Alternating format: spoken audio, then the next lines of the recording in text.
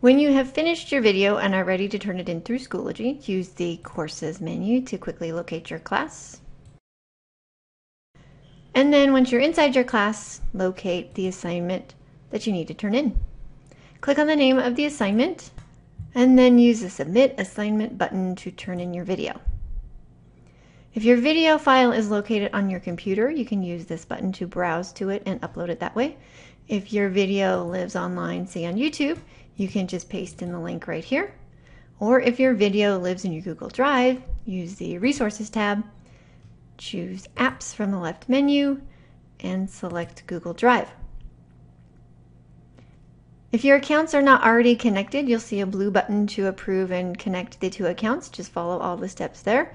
And once your accounts are connected, scroll through your list of Google Drive items, locate your video. It will be represented by this icon. Put a check mark by it and choose the select button. This will import a copy of your video from your Google Drive account into the Schoology assignment Dropbox.